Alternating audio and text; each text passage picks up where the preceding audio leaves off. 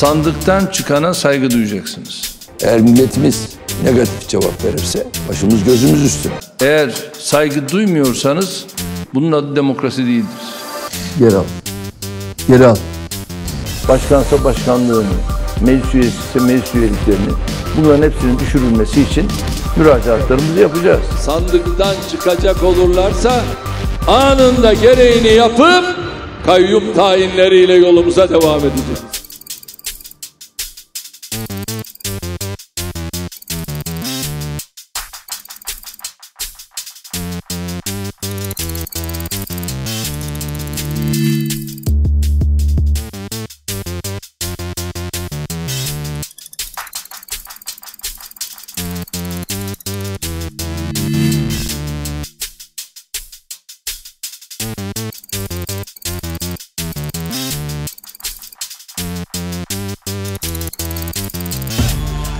Sadece HDP'ye yapılmış gibi gözükse de aslında bu Türkiye demokrasinin tümüne yapılmış bir saldırıdır.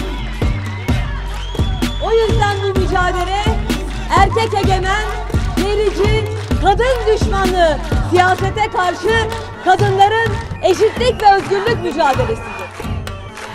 Sonuç ne olursa olsun AKP iktidarının bu darbesini kabul etmeyeceğiz.